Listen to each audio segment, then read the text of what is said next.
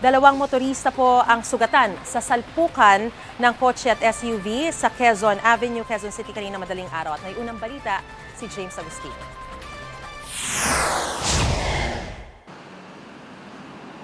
Wasak ang harapan at nabasag pa ang windshield ng kotseng ito matapos bumangga sa SUV sa Quezon Avenue kaninang alas 3.30 na madaling araw. Sa lakas ng pagkakabangga, umabot ng ilang metro ang SUV bago huminto.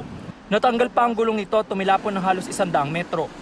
Kwento ng saksi galing sa Scout Albano ang SUV at patawid ng Examiner Street nang biglang sumulpot ang kotse na binabagtas naman ng Quezon Avenue. Mabilis daw ang takbo ng kotse. Yung kotse, ito, umikot siya yung ganun. Dalawang beses.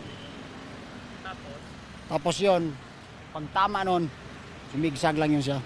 Pag ganun yung SUV na yun, papunta rito. Nagtamo ng sugat sa kamay ang driver ng SUV na laking pasasalamat na ligtas siya. green kami. Dalawa kami ng taxi. Yung taxi na una. Tapos pagtawid ko, sobrang bilis nung...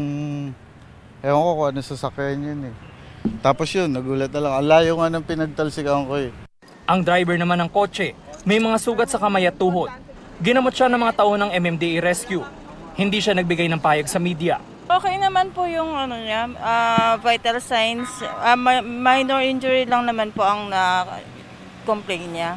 Ah, yung pain niya sa neck is 2 over 10 lang naman. So, hindi masyadong ano. Ano sabi ng driver? Hindi ba siya nakaidlip, nakainom ka?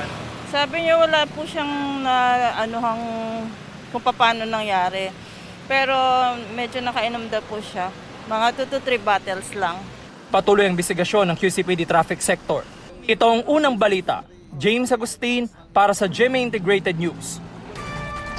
Kapuso, mauna ka sa mga balita. Panoorin ang unang balita sa unang hirit at iba pang award-winning newscast sa youtube.com slash GMA News. I-click lang ang subscribe button. Sa mga kapuso abroad, maaari kaming masubaybayan sa GMA Pinoy TV at www.gmanews.tv.